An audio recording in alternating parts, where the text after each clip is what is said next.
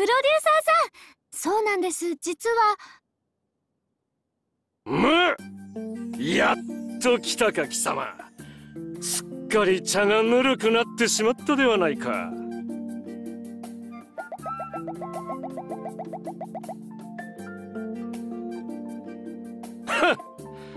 この私を待たせるとはなんと意識の低い。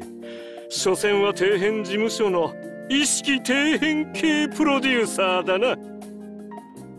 黒い社長ってああああの黒いプロ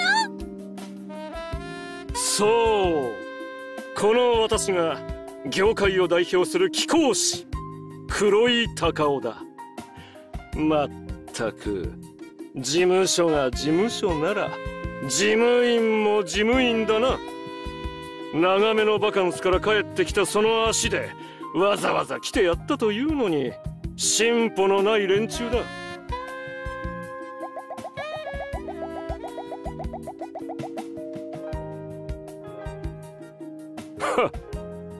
聞きたいか？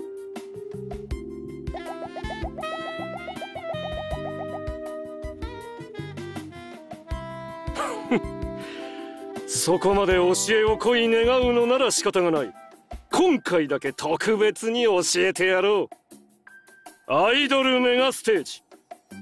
いくら意識底辺の貴様でも聞いたことがあるだろう？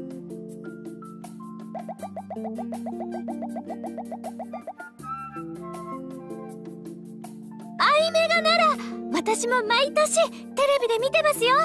去年のステージも素敵でした。そう我が黒いプロも協賛している選ばれしアイドルのみが出場できるという一大イベントだそのアイメガに特別に慈悲深い私のお情けで貴様らを招待してやらんでもないと思っている。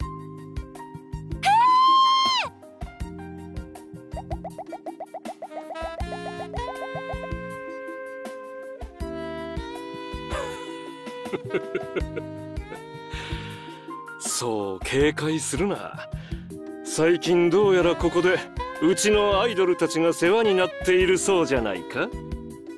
その礼だとでも思っておけばいい。貴様にとってもありがたい話だろう。あは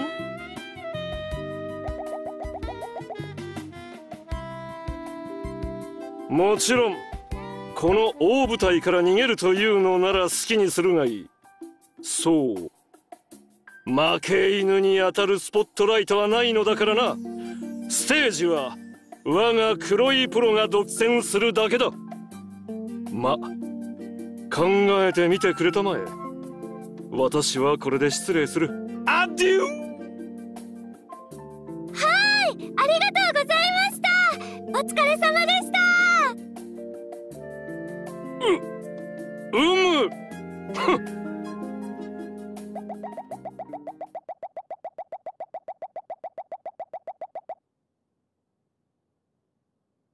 黒い社長さんって噂通り黒くてちょっぴり変わってるみたいでしたけど。でもいい人みたいですね。アイメガに招待してくれるなんて。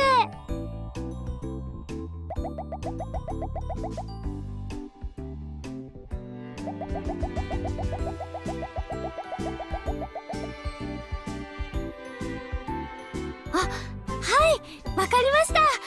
いってらっしゃい。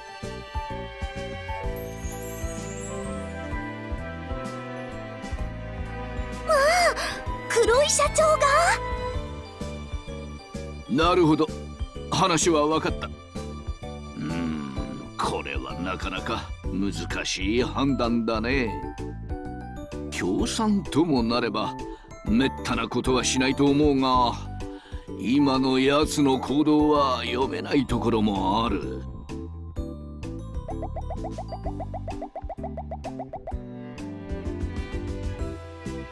うん。油断していい相手でないことは確かだがさてどうするべきか。うーん。でもアイメガといえば大きなイベントですし断るのももったいないような。うん。よし。ここは一つプロデューサーの君に任せよう。この話受けるべきか断るべきか。君はどう考えるかね？